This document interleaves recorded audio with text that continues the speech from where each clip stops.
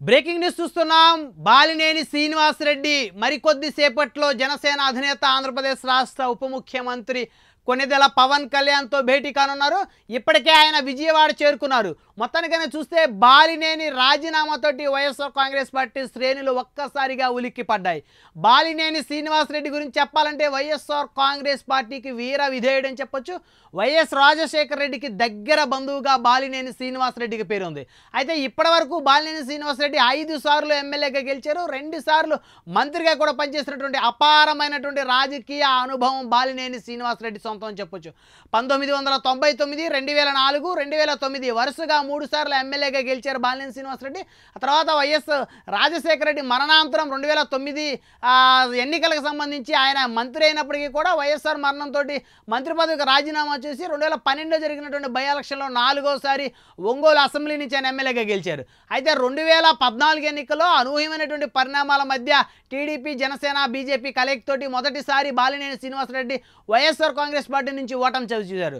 రెండు వేల పంతొమ్మిది ఎన్నికల్లో మళ్ళీ బాలినేని శ్రీనివాసరెడ్డి భారీ మెజార్టీతోటి ఒంగోలు అసెంబ్లీ నుంచి ఎమ్మెల్యేగా గెలిచారు. ఆ తర్వాత మొదటి విడత జగన్మోహన్ రెడ్డి క్యాబినెట్లో మంత్రిగా పనిచేశారు. అయితే రెండవసారి మంత్రివర్గ విస్తరణలో బాలినేని శ్రీనివాసరెడ్డిని అనూహ్యంగా జగన్మోహన్ రెడ్డి మంత్రి పదం నుంచి తప్పించడంతో అక్కడి నుంచి బాలినేని వర్సెస్ వైఎస్ జగన్గా ఎపిసోడ్ అయితే సాగిందని చెప్పుకోవచ్చు.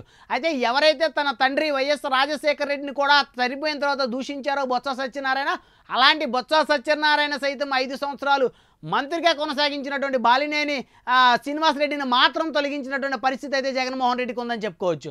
అయితే ఐదేళ్ళ పాటు బొత్సాని మంత్రిగా కొనసాగించారు. బాలినేని మాత్రం కేవలం రెండున్నరేళ్ళ పాటే కొనసాగించారు. అలాంటి తరుణంలో బాలినేని శ్రీనివాసరెడ్డి అప్పటి నుంచి కూడా కాస్త వైకాపా అధిష్టానం ఏదైతే అలకపోయినారని చెప్పొచ్చు అయితే పెరిగి పెరిగి వారిద్దరి మధ్య ఆ గ్యాప్ ఏదైతే ఉందో తారాస్థాయి చేరిందని చెప్పుకోవచ్చు. ఒకనొక దశలో ఒంగోలు నగరంలో సైతం కూడా బాలినేని శ్రీనివాసరెడ్డి ఆధిపత్యానికి గండి కొట్టేలా వైవి సుబ్బారెడ్డిని జగన్మోహన్ రెడ్డి రంగంలోకి దింపారని అయితే చెప్పుకోవచ్చు. అయితే రెండు వేల ఇరవై నాలుగు ఎన్నికల్లో అనూహ్యమైనటువంటి రీతిలో బాలినేని శ్రీనివాస్ రెడ్డి మళ్ళీ ఎన్నికల్లో రెండోసారి ఓటమి చెవి చూసారా అయితే ఆయన ఓటమికి గల కారణాలు విశ్లేషించుకుంటే వైఎస్ఆర్ కాంగ్రెస్ పార్టీ అధినేత పనితీరు వల్లే తాము ఓడిపోయామంటూ బాలినేని శ్రీనివాసరెడ్డి తన సన్నిహితుల దగ్గర వాపోయారు. అయితే ఎట్టకేలకు జనసేన అధినేత ఏదైతే ఆ బాలినేనికి జనసేన అధినేతకి మధ్య మంచి సత్సంబంధం ఉందో దాదాపు సంవత్సరం పాటు నుంచి ఆ సంబంధాలతోటి ఆయన జనసేన పార్టీలో అయితే చేస్తున్నట్టు తెలుస్తోంది. అయితే ముందుగా జనసేన పార్టీ అధినేత పవన్ కళ్యాణ్ సోదరుడు నాగబాబుతో కూడా బాలినేని శ్రీనివాసరెడ్డి మంతనాలు జరిపినట్టయితే తెలుస్తోంది. సో అందరి సమక్షంలో అందరూ అంగీకారంతోనే బాలినేని శ్రీనివాసరెడ్డి ఈరోజు జనసేన పార్టీ అధినేత పవన్ కళ్యాణ్ అయితే కలుస్తున్నట్టు తెలుస్తుంది. ఎట్టకేలకు ఒంగోలు నగరంలోనే కాదు ఒంగోలు ఉమ్మడి ప్రకాశం జిల్లా వ్యాప్తంగా వైఎస్ఆర్ కాంగ్రెస్ పార్టీ బాహుబలిగా ఉన్న బాలినేని రాజీనామాతోటి ఇక వైఎస్ఆర్ కాంగ్రెస్ పార్టీ మనుగడ ఉమ్మడి ప్రకాశం జిల్లాలో ప్రశ్నార్థకమైనటువంటి పరిస్థితికి అయితే వచ్చిందని చెప్పుకోవచ్చు.